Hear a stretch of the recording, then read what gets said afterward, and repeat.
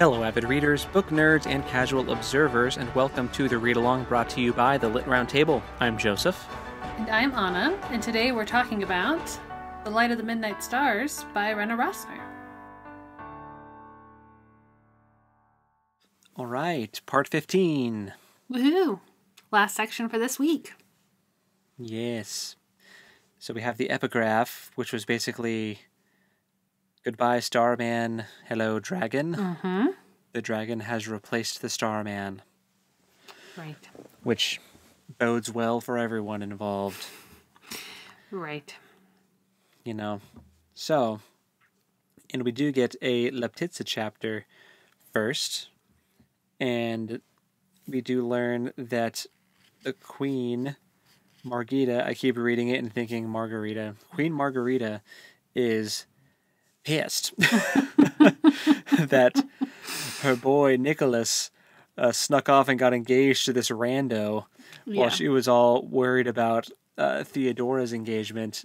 Nicholas went stealth mode and, and got engaged under her nose. Yeah. She's not having it. No, she's not happy.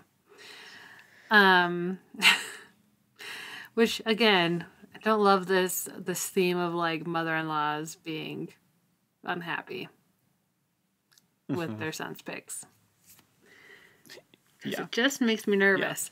But um, so they're preparing for a wedding, and a lot of this chapter is poetry, which previously poetry from Leptitsa has meant.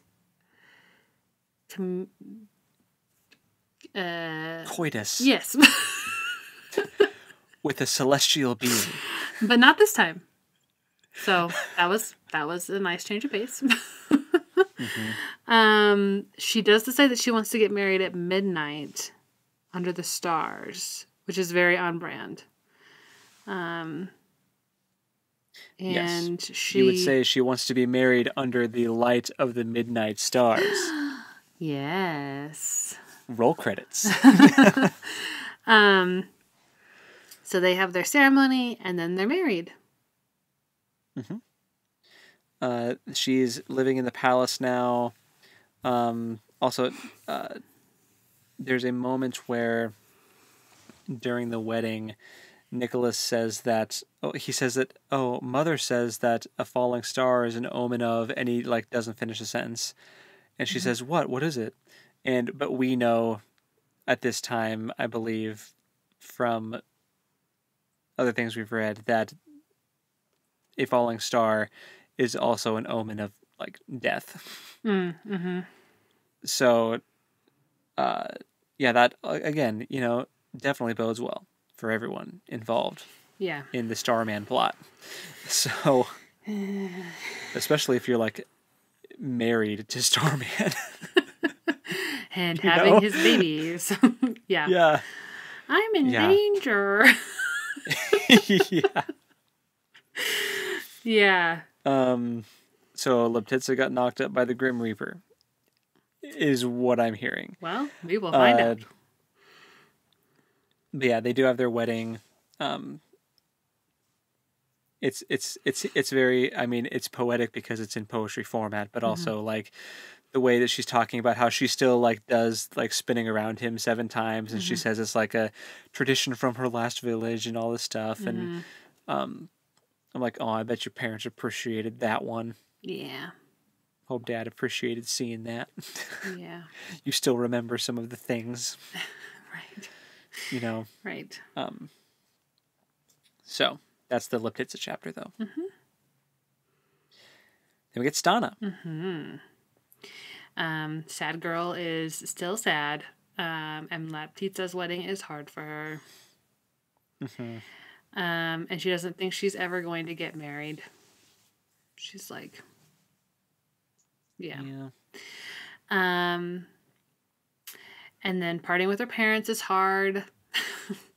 this poor girl. I'm just like, I just, and she hasn't And even she's- had she's the most terrible things happen to her. I just, I, I just, I don't know. She's got middle child Yep. syndrome, and I, I feel bad for her. But... She's also um, little bitter towards her dad still because of like the thing that she's he says to her about like when Esther leaving Esther leaving like her people and not like betraying them. Like Yeah. this thing, and it's like you think she's gonna leave and like rat you guys out. Like, what are you talking about? And Right. and she's a little bitter. She's like, you wouldn't be. She doesn't say this. She thinks it, but she's basically, you wouldn't be saying this if I was like your heir or if I was a boy. Right. Like you wouldn't be worried about this. Like Mhm. what are you? So there's still some kind of bitterness and resentment towards her dad for Yeah. not treating her the way she wants him to. Right. So Yep. that's still a thing. Yep. And then the journey to Bulgaria begins. On the road again to Um, Lovech, Lovech, whatever, however they say it. Yeah, I don't know. Uh, I just say Bulgaria because I know how to say that Right. word. Um, Right. That's fair. and we learn that Theodora can see all of Stana's thoughts. I'm a little confused on that I didn't pick up on that, but maybe because she was. I don't remember reading that. Well, that's the question. I have a question mark because Theodora says something like, "You're far away from me," which could just mean like, I can tell that you're distant right now.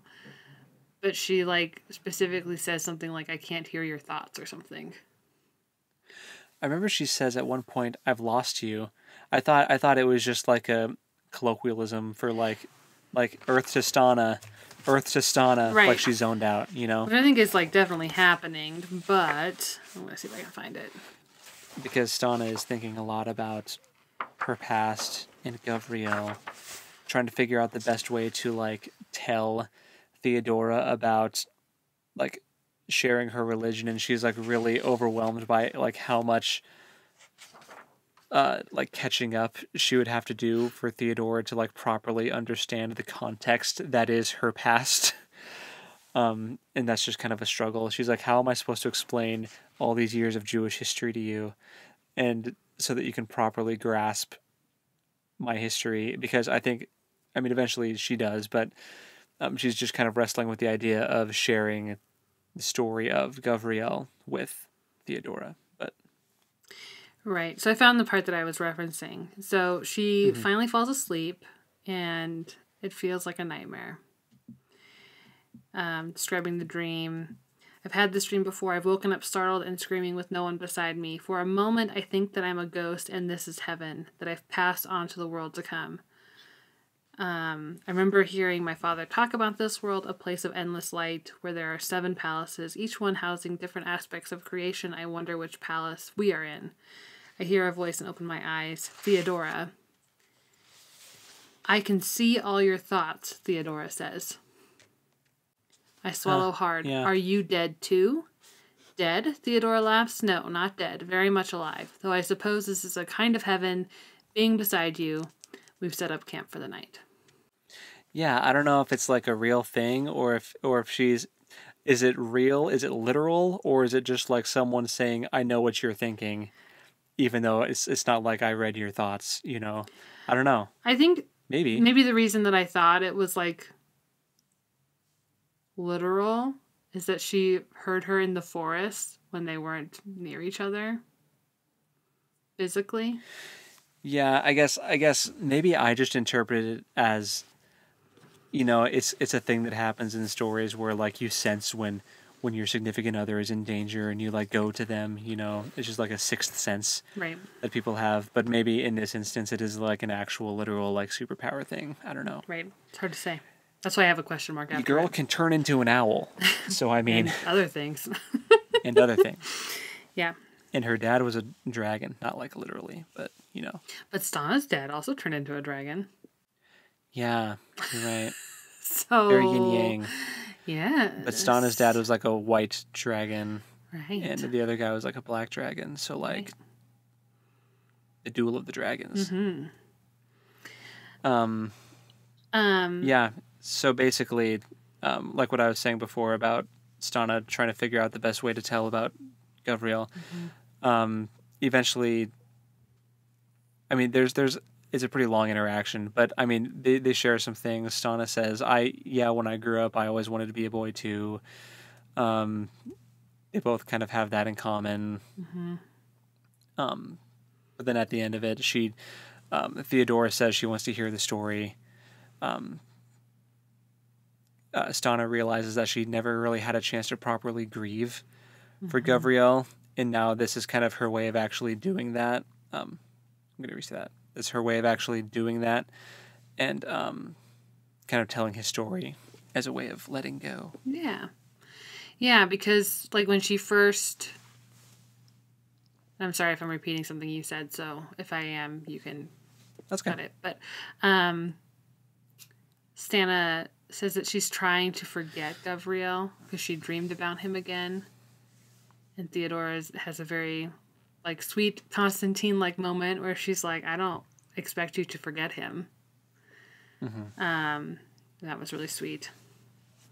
Yeah. Um and I think Stana's a little put off by Theodora saying things like, I know you, or like, I know your thoughts, or whatever, because she's like, You don't know me because you don't know who I was. You don't know anything about Sarah and what a struggle that was.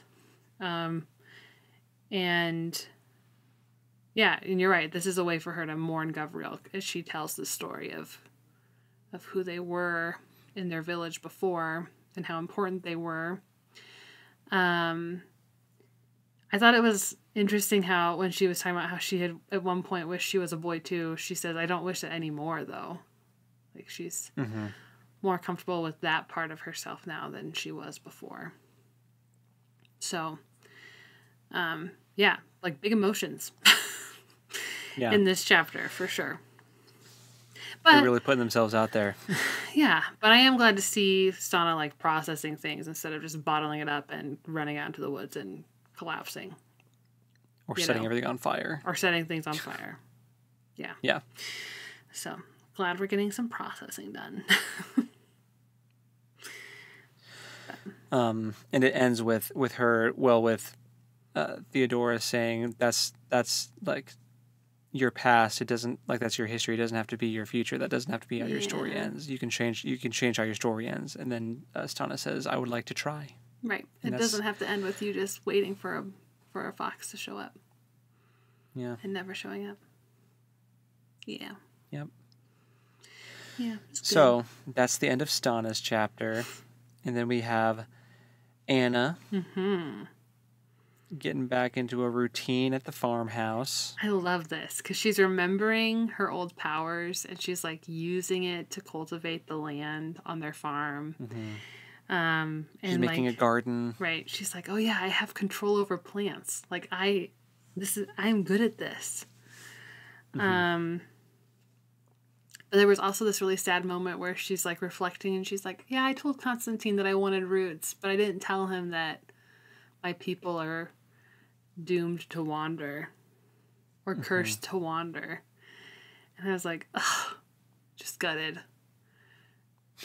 I'm like, oh, I just want you to be happy. yeah for sure um, Um, she does. She does make him strawberry cornbread. right. Well, she makes cornbread and puts strawberries on it. yeah, like cornbread is not a substitute for shortcake. This is No. not strawberry shortcake. At least not the kind of cornbread that I've ever had. yeah, yeah, for sure. Um, but yeah, this is harkening back to when she planted all those strawberries in the in the woods when they 1st arrived, and she said she would feed her husband strawberry cake every day to keep him strong. I was like, oh, yeah, she's doing the thing. yeah, Um, man. She's she hopes he can be young and brave, yeah, and hers always. yeah. Oh, we also learned that he he like applied to go with um Theodora to be her guard uh huh. in Bulgaria, but it got denied. And I'm like, yeah, what the heck? You just got married, dude. What's wrong with you? Why did you apply for that? Because Theodora's his Yeah, his d- person. I don't know. I don't know what how to describe They're their close. relationship. They're close. close. Like he has a lot of allegiance to her. Um, Mm-hmm. I guess if, if that happened, maybe they would have let Anna go with. well, I think and Anna was like, and then he would be able to keep an eye on Stana too, which I think she was like secretly like, yeah, that would be great. And then oh, Mm-hmm. then you'd be gone. That'd be a problem. So, Um, Yeah. She is pregnant, Mm-hmm. um, and she has everything she could want, but she still feels like a shell of who she once was. I'm just like, ugh. Gosh dang it. Yeah, We're so close. so close. but we still have a good chunk of the book left. So, like, hmm, how long is that gonna last? The dragon is back, messing with people. The black mist is back. The queen hates everything that's happening. Yeah. Uh, Theodora's about to go get married to some random dude. So that's going to be trauma that we'll have to deal with. Probably. I feel like I'm not allowed to say anything. Like You're not. You're not allowed because you know the answers. Some of them, anyway. I know some of the answers. So. Alrighty. Well, that's it for this section, though. So, what's our what's our assignment for next time? I should have looked it up beforehand. Sorry, Whoop. guys. Drop the ball. Um, we just have two sister cycles for next time. Okay. Two more. Yep. Sounds good. We only have two weeks of read along left. two weeks left. So, uh, pretty soon we're gonna have a list out of the next uh, the next read along. So, so yeah, if you haven't already uh, subscribed to our Patreon, check that out. If you want some voting rights to vote on our next book that we read along together with y'all during Yeah. grammar's a thing. uh, anyway, so that's all I got. Awesome. But until next time, happy reading. And we'll talk at you next time. Later. Bye.